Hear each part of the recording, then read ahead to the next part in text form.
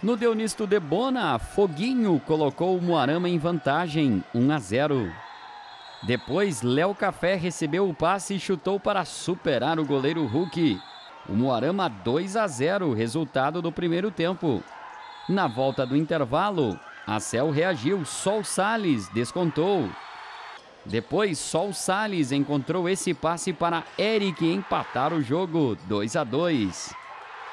E na reta final, o Chopinzinho conseguiu a virada. Helenilson colocou o time em vantagem, 3 a 2. Apesar da tentativa no final, o Moarama não conseguiu um empate.